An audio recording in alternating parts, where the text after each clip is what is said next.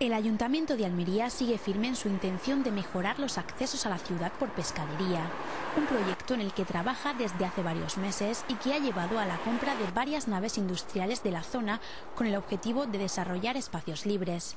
De forma inminente comenzará la demolición de dos de estos inmuebles que ya son propiedad municipal.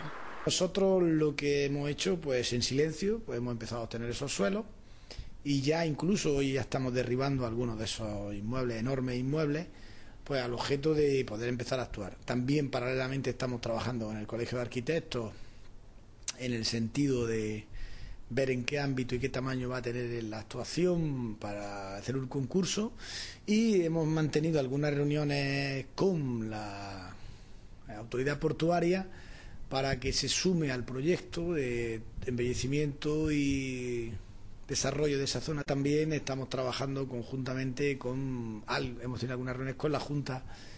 Además, la Comisión Plenaria de Economía y Territorio ha aprobado la compra de los 14.000 metros cuadrados de terreno que actualmente ocupan las instalaciones de Piensos La Foca, unos suelos que tienen un coste de 2,7 millones de euros y cuya compra debe ratificarse en pleno.